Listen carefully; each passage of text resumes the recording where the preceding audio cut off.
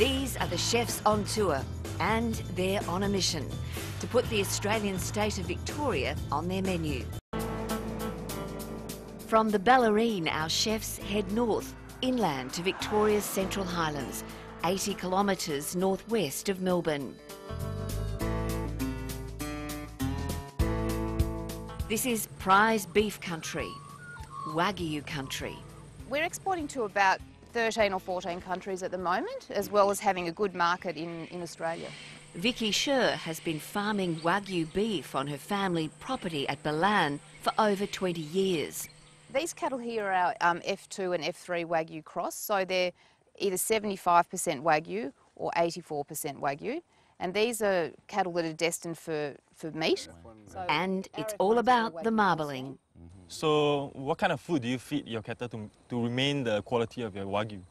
Well, how we breed our cattle is that we feed them on our grass, on our pastures, on our farms up until they're 20 months of age. Then after that, they go on a specially formulated Japanese-style barley-based ration for 14 months or 400 days. It's the ration as well as the genetics that um, create the marbling in the beef and, and the flavour in the beef and a very consistent quality all year round. Sher Wagyu is one of the region's biggest exporters, but today it's on the menu at local restaurant The Plough. Head chef and restaurateur Mark Mills is serving up a light carpaccio.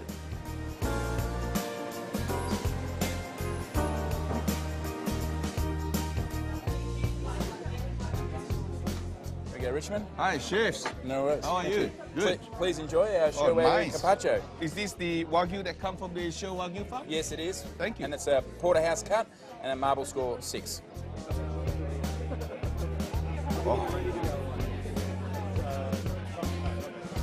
Excellent taste, flavor, texture. Good combination by Chef Wang. The chefs make light work of lunch with food-loving members of the local community.